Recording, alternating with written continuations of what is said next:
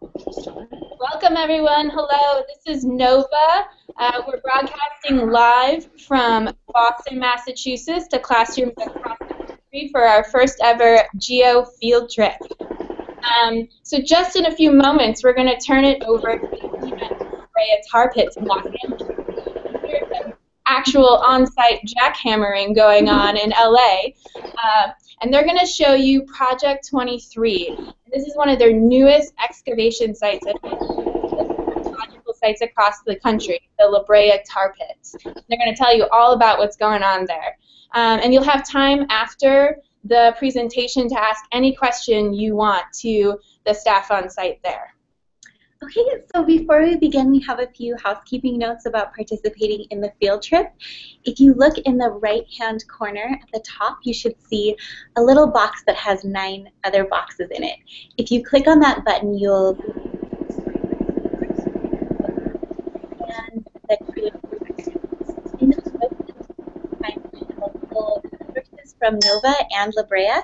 Um, Right now, we're giving away free copies of NOVA's Making North America series DVD to the first 25 classrooms who fill out the Google form located in the showcase. If you want to try that out now, you can. Um, the other button links to our Q&A section. So in using that button, you can click Submit a Question, um, write in your question with your school's name and your state, and we will introduce your question and read them to the La Brea team. Okay. So today we're joined by Laura, who's a paleontologist and staff fossil preparator with the Project 23 excavation site at La Brea. We're also joined by Kelsey, um, who is the school programs coordinator at La Brea, Matt, who's a volunteer at La Brea, and Gary, who's also a paleontologist on site. And if you watched the trailer from our series Making North America before you started today, you would have seen Carrie So now we're going to turn it over to the Brea team. Hi everyone, uh, welcome to the La Brea Tar and more specifically, welcome to Box 14 of Project 23, our current excavation. Uh, before we get into what is going on right here in front of us, uh, I just want to give you guys a little bit of background about this site and what makes us so special here at the Tar Pits. So here at the La Brea Tar Pits, we're an extremely special place.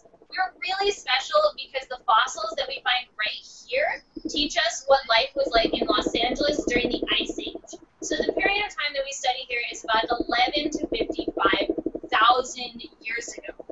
We are one of the world's top Ice Age fossil locations, so we have millions of fossils that we've already discovered, and we have millions more that are still awaiting excavation. We're also, um, as you can hear from the jackhammering going on uh, behind me, and you'll probably be hearing some traffic going by, we're an active paleontological excavation that's going on in the middle of a major city. So that is a really, really unique thing about us. So in short, there's really no place that's quite like the tar pits anywhere else on Earth.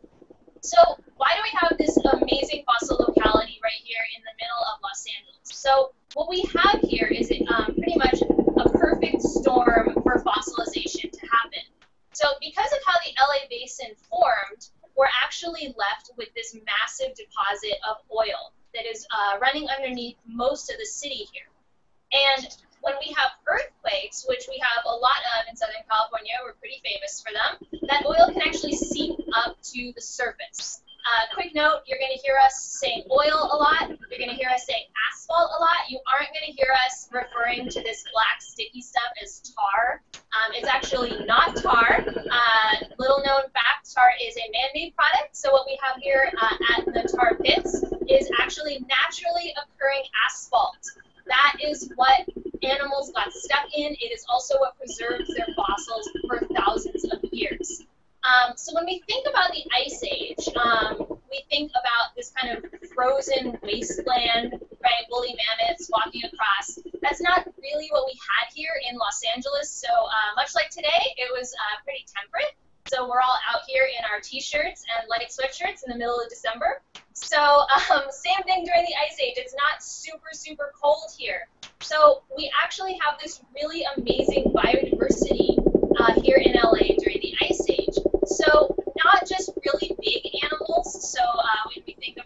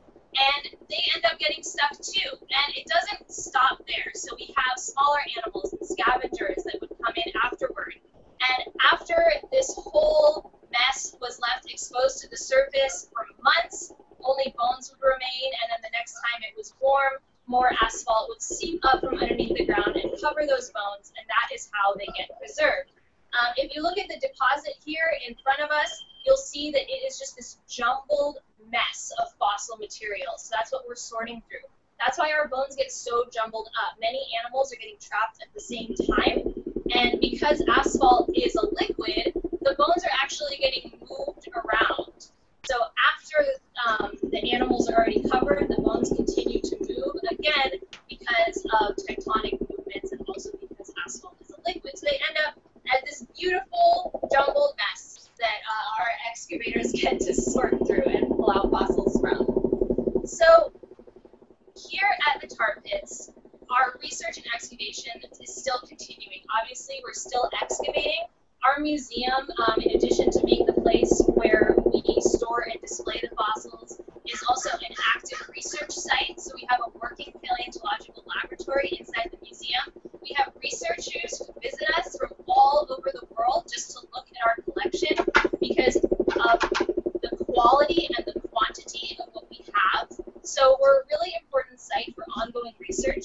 And the research that we do here, um, it not only helps us understand how this place has changed over thousands of years, it can actually give us insight into environmental changes that are happening today. So we're a really, really amazing, really relevant site. So um, to give us a little bit more information about what's going on inside Project 23, I'm going to turn it over to Laura. All right. And so, hi and welcome uh, to Project 23. Uh, specifically, right now we are in box 14 of 23, and uh, fossils from this particular box. I should bring it back to where these boxes are from. Thank you. Uh, so all of this Project 23 came about. It's salvage from when our neighbor was building an underground parking garage just next door. And if you dig underground next to one of the largest urban deposits of fossils in the world, surprise, more fossils. Um, but there were so many fossils there within the footprint of the garage that what was actually ended up happening is that they brought in three companies. So the company building the parking garage itself, working with a team of what are known as paleo monitors that are paleontologists specially trained to go before, during, and after the big excavation equipment. And they teamed up with a landscape company that specializes in moving large trees alive by building boxes around the root balls. And we're very lucky that our fossils tend to come in clumps. And so what they were able to do is figure out the edges of those clumps, build boxes around the entire chunks of Earth themselves, crane them up and move them over here. And they came over in 23 boxes. So we call it Project 23. They're very fancy naming scheme. And the boxes range in size from the largest was 123,000 pounds, which is more than my apartment. And uh, the smallest is only 9,000 pounds. Only. Um, but the boxes also range in the type of matrix, the dirt that we have to dig in, the ratios of silts and sands and clays and asphalt and fossils, completely different from not just box to box, but sometimes within the box, as well as how many fossils there are. Some of the boxes, uh, like box 14, has already produced thousands, if not tens of thousands, if not hundreds of thousands when we count every lizard scale, uh, of fossils from just this one box in particular, whereas some of the other boxes only had hundreds. Yes. Here, try and hold it. Okay. uh, while some of the boxes only had hundreds or thousands of fossils in them. So every box takes a different amount of time to work on, and uh, we use volunteers to do most of our excavation. you are looking at half of the staff right now. Everybody else is volunteer. We could not do what we do without them.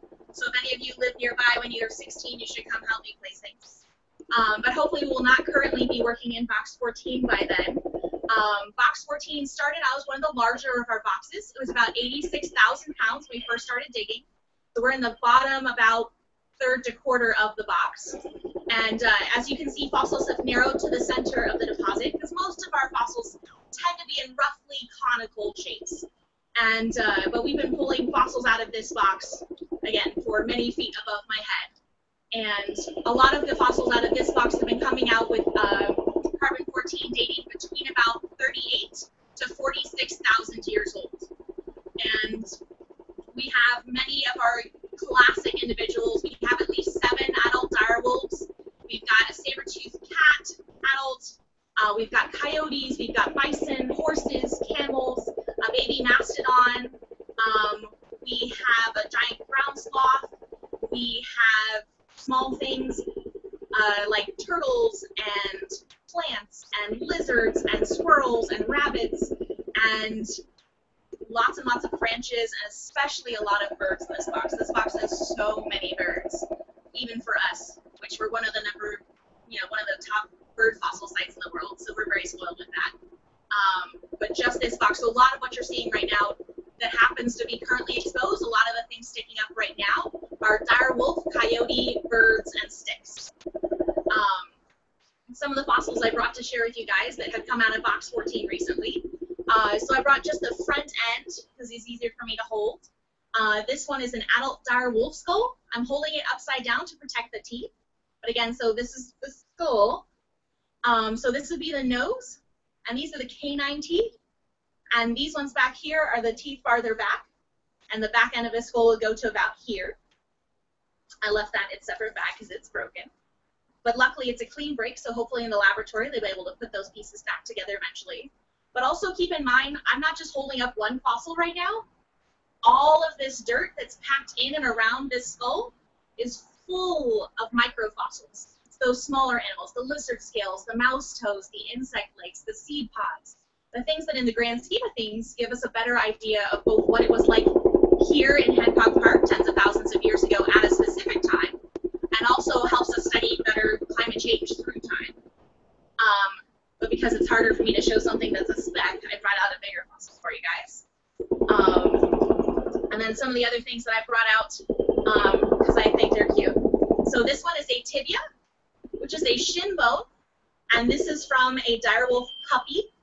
So again, uh, the growth plates on both ends have not yet attached yet, because like you and me, it's a mammal, and that's how we do our growing, is that we have our ends more adult size and adult shaped so we can still do all of our bending that we need our joints to do. Um, and then we grow from the middle part out and then eventually attach those ends. So again, we're not just getting adult animals, we're getting young animals. And we get very excited about those. And part, part of that reason is that I'm more likely to be able to say this bone might go with another bone than I would with an adult fossil. Because with many of those adult fossils, once they've finished those growth stages, it's very hard to tell different individuals apart, especially with a more common animal like a direwolf. Again, just in the scramble alone, I know that I have at least seven adult direwolves. Um, but I'm hoping that maybe I only have one direwolf puppy of this specific age. So hopefully I can figure out what happened to this animal, what's called taphonomy, which is the study of what happened to it between it dying and us finding it. Because again, we just find scrambles of thousands of fossils. And so we get extra excited about the young individuals for that reason as well as things that have some kind of injury or disease that shows up on the fossils, or things that are very rare. Like, for example, that baby mastodon that's in this box. We can be pretty confident, because they are so relatively rare for us, that that's probably all one individual. And he's young, which helps again. And then, uh, so I wanted to bring out a toe, but again, many of them are this small. So I kidnapped a toe from this box that's from a much larger animal. Again, this is a little bit bigger than your toes, probably, I would hope. Um, this one is from an adult bison, and I'm very excited about this particular adult bison because, again, normally bison is our most common large animal that we find, or large herbivore, thank you, uh, that we find here at the uh, La Brea tar pits. But in this particular box, so far, fingers crossed, it looks like we don't have any repeats, and it looks like it might all be one bison through the scramble. So again, just like those young animals, sometimes we do get a more common animals, but so few of them with no repeats that we can be more sure that it might be from one individual. And again, so we can learn more about that particular animal, and we like to joke that it's like taking a selfie through time. Um, so that's some of our fossils here. So, uh, what do you know? Do I need to keep talking? All right, so now it is time. Thank you so much for that presentation. It was wonderful. Now it's time to transition to some of our school questions. Yeah, thank you, La Brea team. Um, first, we have Mr. Dempsey's 9th and 10th grade biology class joining us from Acton Boxborough Regional High School in Acton, MA. Um, hello. Hi, Mr. Dempsey's class. Can you unmute yourself? Okay. Hi, can you hear us? Yes, we can. Oh, there's a little bit of an echo. Exit. One sec, sorry. There you go. Okay, can you hear us? Yes. Okay, hi. Um, our question is, why did the tar pits conserve the skeletons so much better than other fossil sites? Yes, go ahead. All right, I want to talk over people. Uh, but so yes, one of the reasons why our fossils are in such great shape is that it's a it's a more uncommon style of fossilization. So fossilization has many different kinds. The most common that you hear about is permineralization, where uh, the original minerals of the fossils, generally by groundwater moving through them, are replaced by other minerals, and that fossil gets chemically turned into rock. Unlike that, our fossils in general are preserved in that crude oil mixed into the dirt with it. And again, so the oil gets into all the tiny little spaces. So if you notice our fossils of that beautiful La Brea brown patina, um, part of that is because the oil has gotten into all the tiny little spaces. And since oil and water are not so big on mixing, it actually prevents both that water coming through and chemically turning into rock or just it normally decaying like it normally would. So that asphalt both protects it through the tens of thousands of years and then continues to preserve it into our collection, which is why if you see fossils from here, they tend to all be that brown color. Thank you, Laura. Um, our next question comes from Mrs. Biernat's eighth grade class from St. Mary's Visitation School in Elm Grove, Wisconsin. Hi, we can hear you. Oh, make sure you unmute yourself. We can hear you. Uh, our, our question is like, how did the tar form? How did the tar form? Yes. Okay, good, thank you. All right, so the way that the asphalt formed is that asphalt is the crudest form of naturally occurring oil. And actually, all of Los Angeles Basin, so the main part of Los Angeles, it is a basin because it uh, was underwater, geologically speaking, relatively recently. And a lot of organic material, and again, some whales and everything else, but mostly diatoms, small little plankton, all those things. Eventually, when they die, they settle to the bottom and uh, eventually get built up over time. Heat and pressure is what makes oil. And uh, that oil then, now that we are no longer underwater, uh, has been finding little cracks in the surface and coming up to the surface. And here's just where an area where that crudest form of oil, asphalt, as well as some of the lighter grades like methane, that makes some of the bubbling that you might see here. Uh, those lighter grades then come up to the surface wherever they want to. I just imagine taking a gusher and kind of squishing it. Great. So now we're going to take some more questions from schools across the country in the chat box. So our first question is, how do you figure out which fossil belongs to which animal, especially when you only have really small pieces? All right, so the way we tell which fossil goes to which animal or plant or insect, uh, just going by pieces sometimes, is that a lot of it is just practice and uh, just having a basic knowledge of how the different shapes work and then having practice of seeing it over and over. To a certain extent, um, say we'll take a tibia, so a shin bone. to a certain extent, with most of the animals that we see, especially the large ones, are mammals, and a lot of the way that we're built is the same. You'll have differences, but to a certain extent, you'll have a triangular end on the top. It'll come down to a tapered end on the bottom. It'll have a ridge right here. It's the same kind of general shapes that we learn over time. And so a lot of that is also the overall shape and then the differences between the different species. But again, we're very lucky in that our the things that we find most often, because out here I don't worry as much about the different lizard scales, mouse toes, insect-like seed pods. I let them figure that out inside the laboratory when they can use um, magnifying lenses and that sort of thing. But when we're looking here, we have a more limited cast of characters. There's only a couple of dozen animals that we find most often on a large basis. Found a mouse toe, I can just say Rodentia phalanx, and I can let them figure out what kind of mouse inside. But so a lot of it is just by learning the different shapes over time and being able to see this much of it and be like, oh, that looks kind of like a tibial tuberosity, because we have practice looking at that. Pattern recognition software in our brains. But that's also why we love having volunteers that start with us in the laboratory learning what they're looking for and then come out here and help us find it. So again, we do teach them what they're looking for. We don't just expect them to know how to find things. We have one more question from Mr. Muller's class. How did the tigers get trapped? You cut out just a little bit, Captain.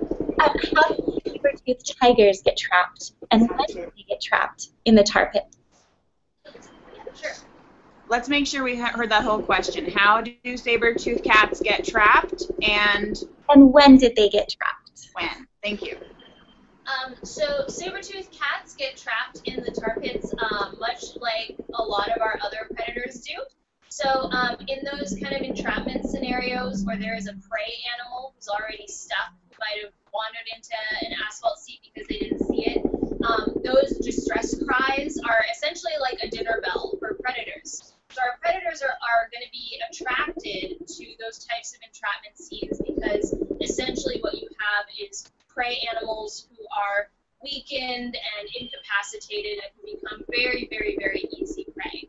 Um, so our, our predators like saber-toothed cats and dire wolves, which are our two most commonly found large animals here, they are essentially attracted to these entrapment scenes because they're hungry and they're opportunistic. And uh, when, does, when do saber-toothed cats get trapped? Uh, well, we find them back about 55,000 years, since that's about as old as our material has been dated, uh, through about 10, 11,000 years. So through the entire span of our collection. All right, so we have another question. This is from um, Mr. Hansen's class. And they're asking, has there been any instances of discovering viable DNA within the excavations? If so, has there been any discussion on mapping out the genome for the extinct organism? Big question there. All right, so this question is about DNA. And uh, what's exciting is, uh, so no, we don't have any yet. I'll start with that. Um, and part of that reason that we don't have any DNA that we've yet recovered yet uh, is that asphalt is long, sticky, tricky carbon chains. And the types of material that scientists use to clean the asphalt out of the organic, the other organic material to study it, um, a lot of those chemical solvents are very harsh, and DNA is very, very delicate. Uh, so doing things like carbon-14 and getting collagen out, collagen is much sturdier. Uh, so a lot of the cleaning process they use for that just wouldn't work and haven't worked so far. But we actually have current work going on right now uh, with labs in other places in the world that are trying new ways to clean the asphalt out of the samples to try to do it very, very delicately to try to look for those DNA proteins. Um, and yes, I'm sure we would try to map it if we could get it. Um, and also, I would just love it again. I want to know if this bone goes with this bone. And wouldn't that be awesome if I could say, oh, this is direwolf number 28957, and so is this, and try to study what happened to all of these. Uh, so we would definitely be very excited about it, but we haven't recovered it yet, and that's why. But we're still working on it, so check back later. Wonderful. This question is from Shepard Middle School in Deerfield, Illinois. what is the most unique fossil that you've ever found? And also, what animal was it from? Most unique fossil. Oh, that's a tricky one. Go for it. Okay, um, so this is, I don't know, maybe this is like a personal favorite of mine, but uh, one of my favorite things that we have here is uh, actually raccoons, which we think of as, you know, a really, really common pest. But uh, I love raccoons, personally. Um, but, you know, they go through our garbage and they're kind of annoying because they're so smart. Um, and raccoons are actually one of the rarest fossils that we find here. I think we actually have one raccoon element in our whole collection. Um, so, I mean, I think that's a pretty unique and really cool fossil that we find here because it's something that's kind of a more common animal, but actually for us here at La Brea, it's extremely rare. Yeah. So a lot of the things that are that tend to be younger geologically speaking, we would love more of. But again, like there's so many stories to tell that it's hard to pick just one. but I like raccoons, so let's go with Raccoons are All right, our next question is Do the volunteers come from local schools and can young students get credit for putting in hours at the pits? Um, so a lot of our volunteers do come from local area and schools, but keep in mind our volunteers range right now from 16 to 86, I think. So again, we have all range of volunteers, and uh, the local school getting credit thing that would be something you'd have to work out specifically, but there is a precedent for it. Um, but it does look really good on college applications. Um, but otherwise, a lot of that you just go through the website to find more information about that. But please help me.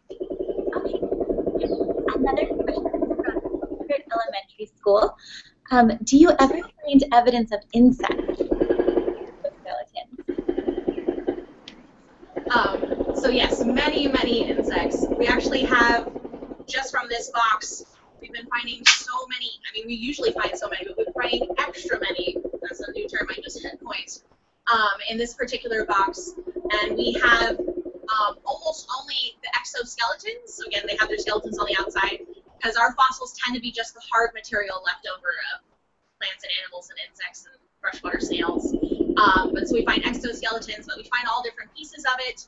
And occasionally, actually, with box one, one of the other boxes of this project, what we've been really excited to find is layers of leaf litter uh, with articulated millipedes. So the millipedes with all the little pieces all together curled up in their little coils that died and were preserved where they lived, because again, they're detrivores, they live in leaf litter and eating things.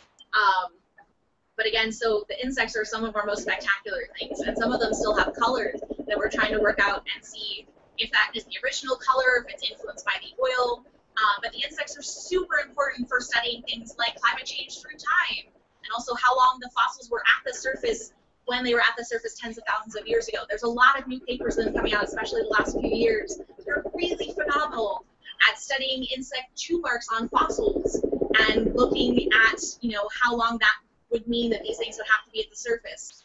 And most, if not all, of the insects are still alive today, so we can still go study them and try to make comparisons going off of our fossils. So insects are super exciting. There's not enough people get excited about them, so come be excited about them. Great. We have two final questions for you. At your excavation site. Can you say that one more time? I didn't hear that. Sorry. At your excavation site. Human, we're asking about human fossils. Yes. Have we ever found any Oh, human okay. fossils? Uh, so the question is, have we ever found any human fossils here? No, not really. We have one set of partial human remains and some grave goods, but she is from younger than we have been. So here at the tar pits, we have never, ever, ever yet, ever, ever found any evidence of ancient people and these extinct animals at the same place at the same time. It would be really exciting, and we hypothetically could. We just don't have the evidence yet. Um, and again, Box 14 specifically, where we're working right now, is between about 38 to 46,000 years old. We don't have any evidence of people in Los Angeles here at that time anyway, so I would be very surprised. I would be totally excited for it, um, but I tend to like the older things. They're they're cooler to me. So people are awesome, but we don't have any in conjunction with these extinct animals yet that we've ever recovered. Okay, great. So our final question is, have you ever discovered any new species undiscovered? And this is by Hudson Middle School. Uh, so new species. Well, we definitely have things that are new species for us. We continually add to that list that you were talking about of over 600 species. Um, some of the more recent things for that are we have a little type of freshwater limpet that uh, was just found on a sloth skull just a little while ago, and so that was new for us. But in general, a lot of the bigger animals we know about already because our institution alone has been digging here for over 100 years already. Um, but mark my words, the new species that we find are going to be the little guys that up until just a few decades ago haven't really been studied very much. So again, if we find new species, my guess is that it's going to be in the insects and the freshwater snails and the plants and uh, you know the little guys. So look for the little guys. I think they're getting their their time coming. All right. Well, thank you all so much, Brea, for taking time to talk to us. Um, you guys were awesome. You answered all of our students' questions. There's tons more coming in, so um, we just didn't have time to answer them, but we're so glad that everyone's really excited about the field trip and um, want to ask questions to our presenters. So, and we also want to thank the two classrooms that uh, took time to ask us questions on camera. If you have any feedback for us teachers, we'd love to hear it. You can email us at novaeducation at wgbh.org. It's in the profile of this event today. We'd love to hear what you thought about the presentation. Thank you so much. We're signing out. Bye-bye. Thank you.